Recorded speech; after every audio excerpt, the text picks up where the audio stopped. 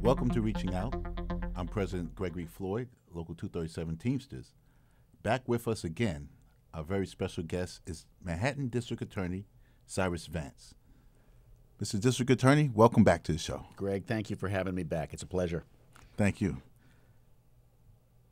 We wanted to start with uh, a discussion about the caseload your offices now, um, I would say, prosecute.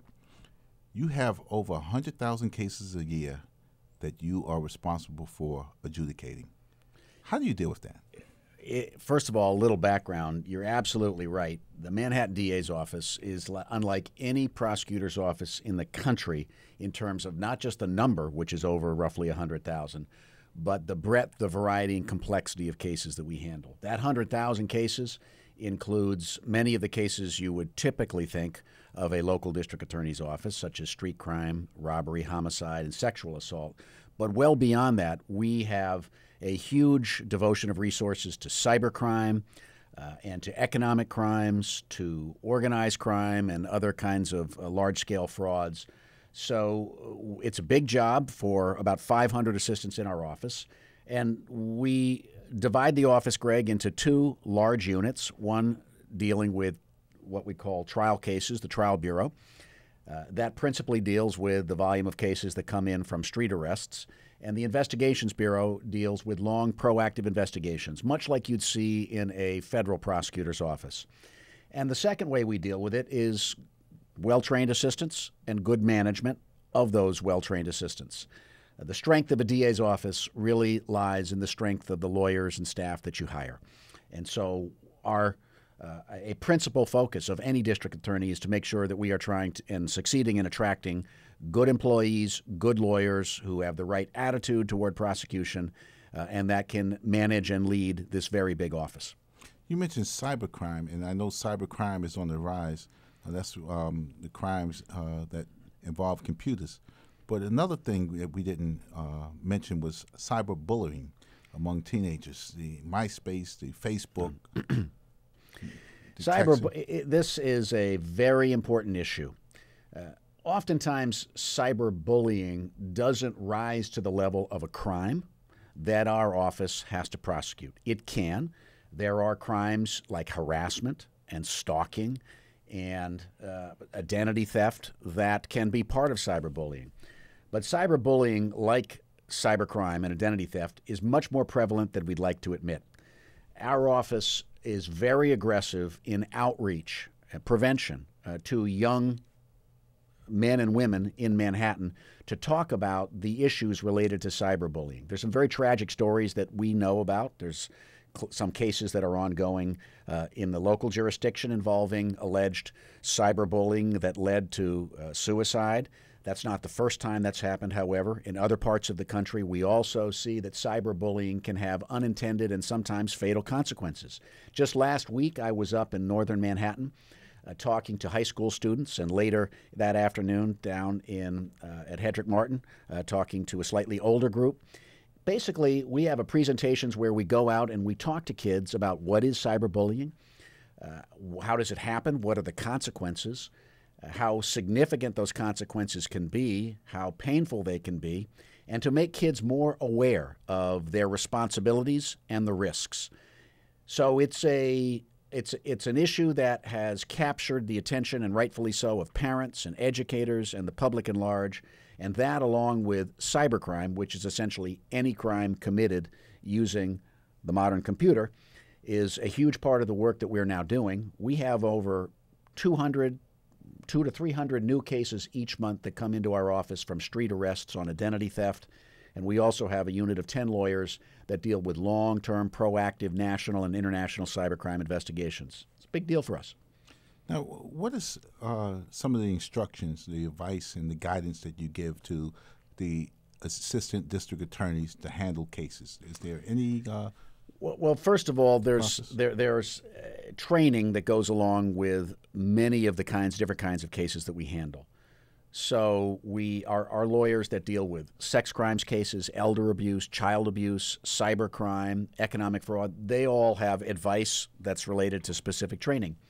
But fundamentally, Greg, the job of a district attorney uh, and, a dist- and an assistant district attorney is to make sure that we try to do the right thing in every case, wherever that leads us, whether that means to aggressively prosecute, whether that means to arrive at an appropriate plea bargain, or to dismiss the case, as we do uh, from time to time if we feel the case doesn't have the evidence or shouldn't be prosecuted.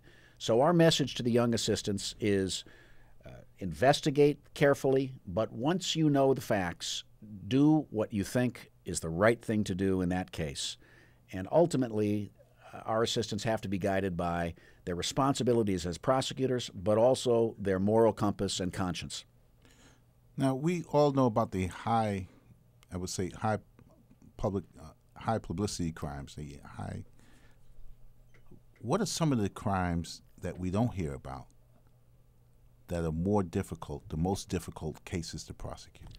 Well, let me give you one example of a case that was actually sentenced today.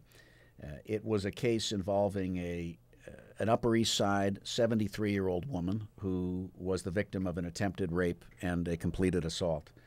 Uh, her uh, the man who attacked her was sentenced today to a substantial prison term. But there's a case where you have regular citizen, uh, a case that's not going to receive much attention. Uh, it uh, many of these cases require lots of investigation. Sometimes they're solved by DNA. And then the thing that most people, I think, don't fully appreciate is how courageous these victims, particularly vulnerable victims and elderly victims and children and victims of domestic violence, have to be to go down to court, tell their story to lawyers they don't know, police officers they don't know, sometimes to a grand jury, 23 citizens who they don't know. And then at the end, if there's a trial, to actually have to speak their story in a public courtroom, sometimes with the newspapers there, about what happened to them. And the victims are remarkably brave, as that 73 year old woman was today, in a case that you won't hear about, but very typical of the kind of case that we deal with. Now, you also have some efforts to reach into the communities that do not involve enforcing the law and prosecuting. One of them is a basketball program that you mentioned prior when I met with you. Uh, can you tell us about that program and how it's going and how it's working?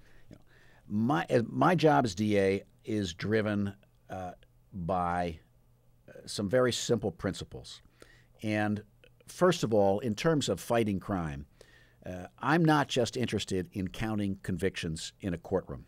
Now that's important. But ultimately, I think a prosecutor has to be interested in what are the strategies that we can use that are going to help drive crime down for the long term. And clearly, Greg, if we have strategies that are going to reach out to young kids, particularly at risk kids, and offer them uh, a safe, for example, place to be on Friday and Saturday nights, which are some of the most risky nights for young men and women in the right age group, 12 to 17 years old, uh, and offer them a safe place to be with good mentoring and opportunity to socialize with uh, boys and girls from their neighborhood uh, who they otherwise might not know. That's going to help keep them on a productive, forward moving path and out of trouble. So, what we did in the DA's office is we started by our partnership with the Police Athletic League, which, with which we have historically had a strong partnership. And we use Central Harlem as our first location we take money that we have seized from drug cases and that has been forfeited lawfully to our office. And we have funded this sports programming using those drug proceeds. It's like turning uh, guns into plowshares or, or swords into plowshares. So, in other words, we're turning good money and bad money into good money. Turning bad yes. money into good money. Yes. And we uh, key is to have excellent programming. And so we hired a first rate group of basketball trainers called Pro Hoops who train the pros, the guys you see on TV. And if you, when your son gets to be high school senior and you have mm-hmm. lots of money, this is the group that you'd use to help him up his game to get into a college and play. But on Saturday and Friday nights in a gym that had previously been closed in Harlem on weekends because it didn't have the money, We now have that open. We have about 200 kids who, for the last four months, have been participating. We took that same model and moved it to the Lower East Side. We now have a similar program at the Henry Street Settlement. Ten days ago, we opened one in East Harlem at Johnson Houses. And this spring, we're going to go to Washington Heights. So, our hope is by the end of this year, we'll have between six and 800 boys and girls on Friday and Saturday nights getting extraordinarily high quality programming uh, to be there with their families, uh, to learn that law enforcement can be a positive influence in their lives. Some of the coaches are assistant DAs, volunteer coaches are assistant prosecutors, as well as police officers. And I can tell you, because I spent a lot of time at these clinics, the kids love it. The parents are appreciative. We hope to be able to also add on educational and other uh, programming and opportunities that we can provide to the kids as, a, as an additive uh, while we have access to them and their families. And that's just a straight up example of look, you care about making sure kids don't get into trouble as more, frankly, you'd prefer that right. than actually having them in a courthouse. I'd rather sit in the back seat or the back bleacher of a gym than in the back row of a courthouse watching a sentencing. That's going to make our neighborhood safer. It's better for the kids, and not, that's why we're so committed to it. That's all the time we have for this segment. Our very special guest was Cyrus Vance Jr., Manhattan District Attorney. Thank you for coming by. Thank again. you, Greg. Good to see you. Okay.